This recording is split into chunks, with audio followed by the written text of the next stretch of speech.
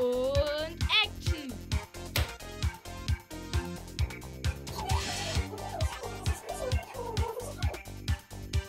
Cut! Etage TV!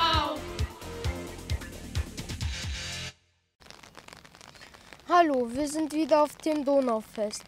Heute regnet es leider sehr arg und wir schauen mal trotzdem, was los ist.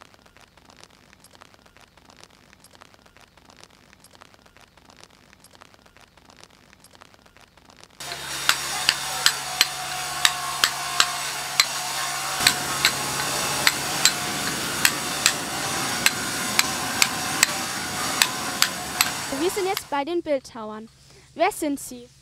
Ja, mein Name ist Dietmar Rudolf und ich bin Bildhauer. Ich arbeite als Steinmetzer und Steinbildhauer im Ulmer Münster und bin freischaffender Bildhauer hier in Ulm und habe ein, eine Werkstatt im Steinbruch in Herlingen, Lautern. Und was machen Sie beim Donaufest? Was ich beim Donaufest mache, das ist eine gute Frage.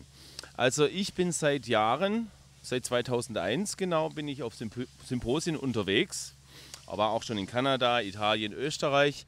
Und mir kam die Idee, selber hier in Ulm ein Symposium zu veranstalten.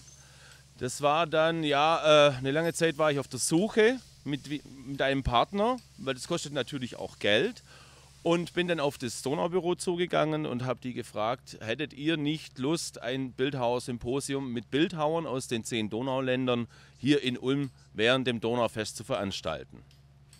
Und die waren dann sofort auch begeistert davon und die Ergebnisse haben wir jetzt hier. Wir haben vier Bildhauer hier aus Moldawien, aus Kroatien, Serbien und Rumänien. Und die arbeiten jetzt hier während der Zeit des Donaufestes eine Skulptur zum Thema Begegnung.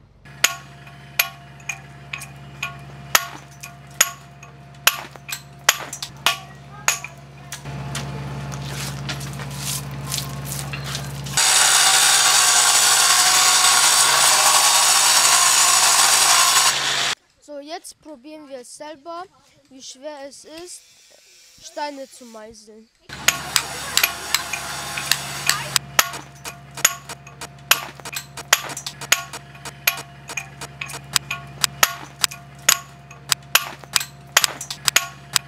Heute sind wir am Donaubüro und interviewen Frau Meigel. Sie ist die Hauptverantwortliche für das Donau Donaufest. Was genau macht das Donaubüro? Also das Donaubüro wird von den beiden Städten Ulm und Neuem finanziert. Wir sind gemeinnützig und als großes Projekt machen wir natürlich das internationale Donaufest, was alle zwei Jahre stattfindet.